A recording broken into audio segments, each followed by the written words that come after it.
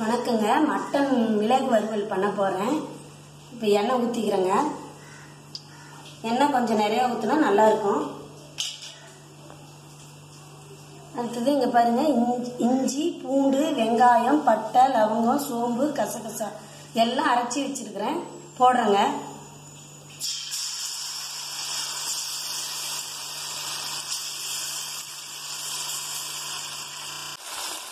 சின்ன வெங்காயம் நூறு கிராமு பூண்டு நூறு கிராமு இஞ்சி ஐம்பது கிராமுங்க அப்புறம் பட்டை ஒரு அஞ்சு ஆறு பட்டை லவங்கம் ஆறு சோம்பு கசகசா எல்லாம் போட்டு அரைச்சி பாருங்க வதக்கி வச்சுக்கிறேன். நல்லா இஞ்சி வா பூண்டு வாசனை வந்து வரணும். பச்சை வாசம் அடிக்கக்கூடாது. நல்லா இதாக வரணும். பாருங்கள் முக்கால் கிலோ கறி. இது நல்லா உப்பு கல்லுப்பு மஞ்சத்தூளும் போட்டு நான் கழுவி வச்சுக்கிறேன். போடுறேங்க.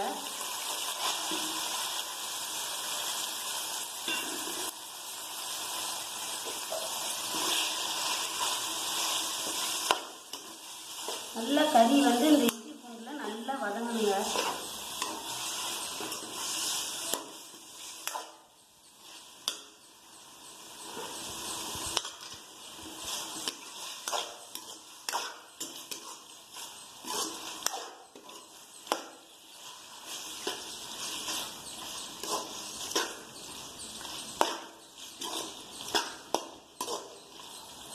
கொஞ்சம் அஞ்சு நிமிஷம் மூடி வச்சு நல்லா வேவிட்டுங்க. அதுக்கப்புறம் மசாலா தூள்லாம் போட்டுக்கலாங்க. பாருங்க நல்லா இந்த இஞ்சி பூண்டிலே வதங்கிருச்சு.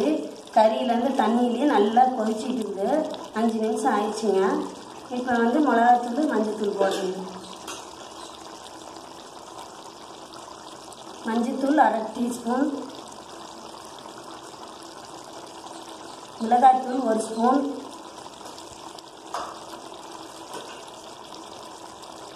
கொத்தமல்லி தூள் நாங்கள் வீட்டிலேயே அரைச்சிடுங்க நல்லா மசாலா போட்டு அரைச்சிடு ஒரு டீஸ்பூன்.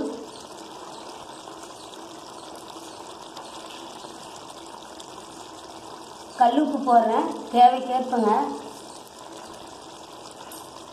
நல்லா வதக்கிறேன்.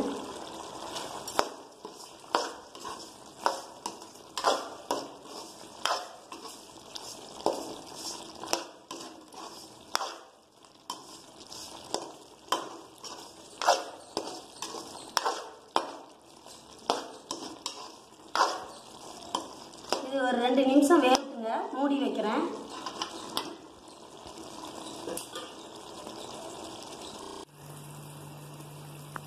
பாருங்க ரெண்டு நிமிஷம் நல்லா இதாயிடுச்சு. இப்போ வந்து தண்ணி ஊற்றுறேங்க தண்ணி ஊற்றி ஒரு கால் மணி நேரம் வெந்ததுக்கப்புறம் கொஞ்சமாக தண்ணி இருக்கும்போது பெப்பர் போட்டுக்கலாங்க.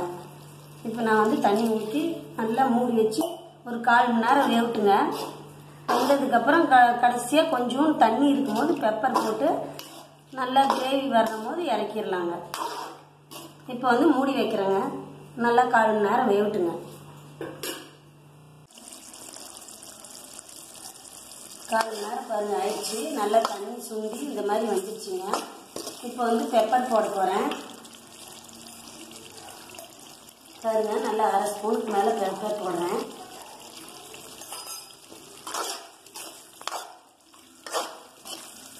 பெப்பர் நல்லா சுண்டி பெப்பர் இதாகணுங்க அதனால சுண்டி வறுத்துங்க நல்லா ஒரு அஞ்சு நிமிஷம் சுண்டி வந்ததும் தான் பண்ணிடலாங்க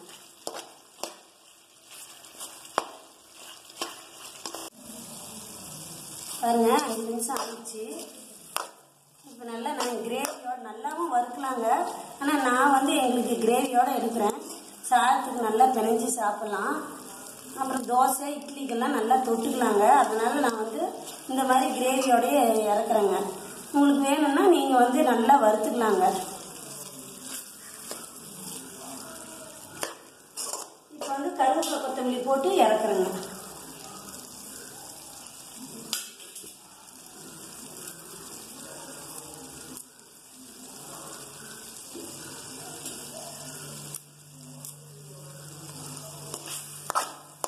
பாருங்க நல்லா பார்க்கறதுக்கு சூப்பராக இருக்குது இப்போ கருவேப்பிலை கொத்தமல்லி போட்டேன். இறக்கிடுறேன்